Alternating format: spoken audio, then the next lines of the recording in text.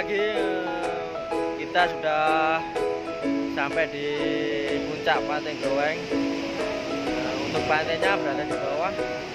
Ini berada di puncak untuk mencari sunrise. Mudah-mudahan kita dapat sunrise. Nah, untuk jalannya sendiri kita kurang lebih menuju pantai Groweng kurang lebih satu kilometer untuk jalan kaki siapkan bekal dan peralatan. Oke. Ini berada di puncak.